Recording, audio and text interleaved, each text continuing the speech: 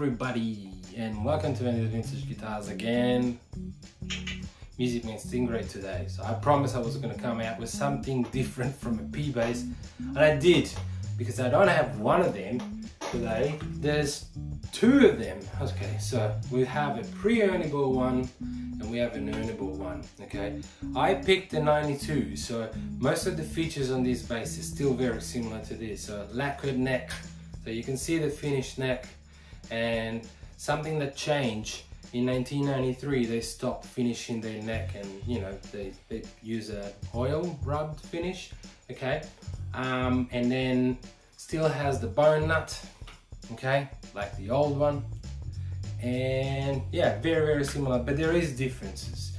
So the main difference of course is the sound that you can get from a two band EQ and a three band EQ okay? The vintage one is two where it changed in 1987 to a four okay? High mass bridge looks identical but the main difference is the vintage one run through the body where from I believe we're talking 83 84 they discontinue that feature okay? Battery covers are the same still metal and that changed in 94 and then we have a much better six strings screw plate neck plate on the newer one where the vintage one had like that sort of 370s three screws neck plate which is prone to shift left and right. So this is a much a, a better uh, a better screw plate a better system and and I actually like it more but you know never had problem with my 77 belly cut okay? Belly cut on the new one slab slab on the 77 okay? Um, and of course one says music man where the other one says Ernie ball okay? But everything else is the same. Weight wise this one's much lighter.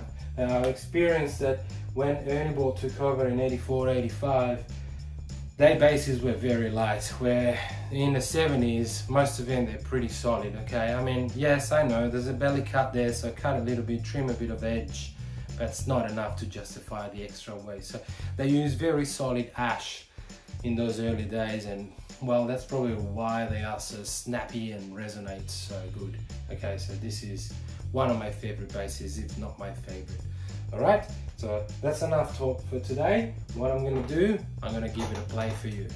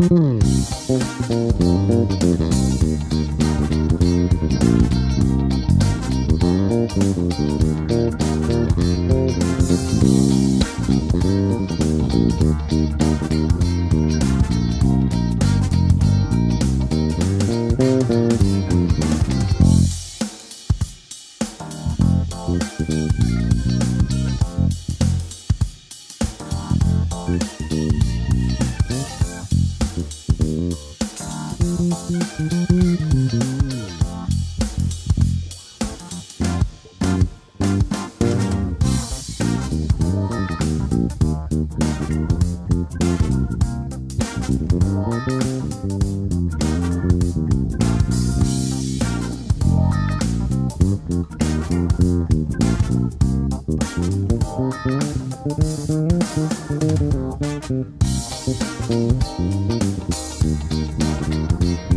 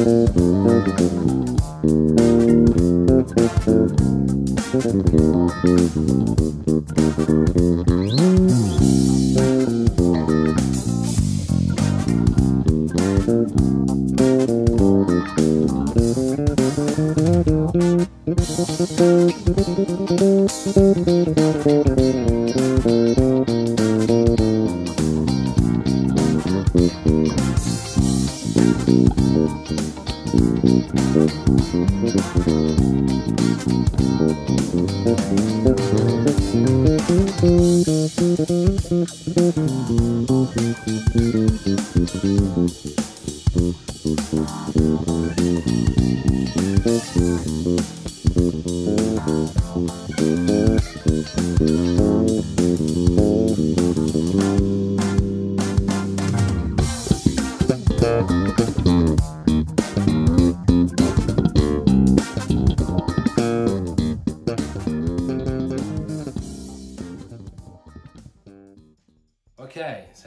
are. So what's your favorite one? The Ernie Ball or the pre-Ernie Ball ones? I like them both, okay? They both have an incredible tone. It's a really good bass if you know how to blend it. Now it's active, might be a little noisier than a P bass of course, but this is the first mass-produced active bass ever. So, and again, comes from Leo Fender. I mean, at least part of the design comes from Leo. So you know, another another great machine made by Mr. Fender. Alright, if you like this video, don't forget to subscribe, like it, and come back for more content. Thanks.